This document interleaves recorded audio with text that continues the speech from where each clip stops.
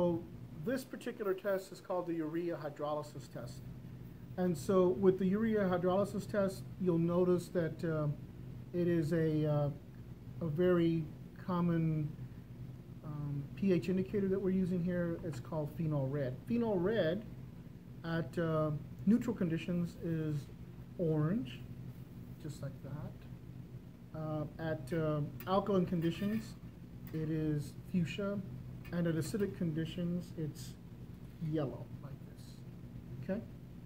Um, so what you do here is you take an inoculating loop and you inoculate the organisms you want to test.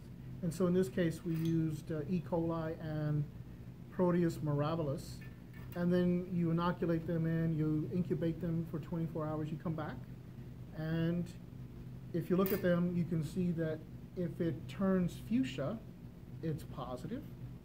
If it remains orange, then it's negative, right? And that's simply because the molecule of urea looks like this.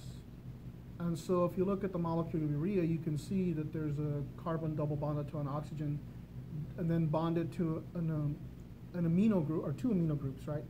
So when this happens, the enzymes cleave the molecule here and here, and those two amine groups get released into the environment, which immediately then pick up another hydrogen and become ammonia, right? And the ammonia then increases the pH in the media, which causes the fuchsia color.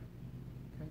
So in urea, fuchsia is positive for the breakdown of urea. Orange would be negative.